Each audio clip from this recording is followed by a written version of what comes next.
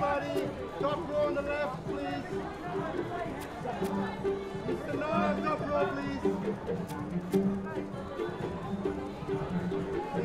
Christopher, eyes to the top row, if you could. Christopher.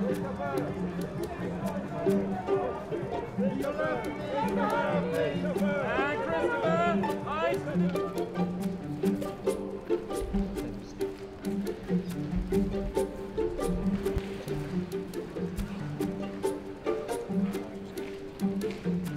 This camera first, sir.